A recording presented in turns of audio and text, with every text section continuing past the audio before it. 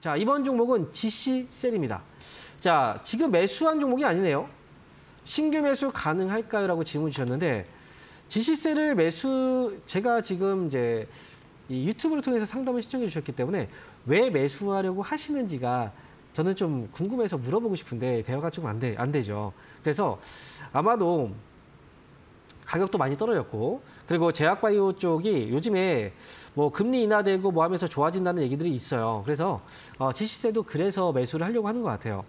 그런데 이 종목은 한 가지 좀 보, 보셔야 되는 게 오늘 기준으로 이 거래 대금이 어, 8억 정도밖에 안 됩니다. 그리고요 거래량을 보면은 2만 5천 주 정도 밖에 되지 않아요.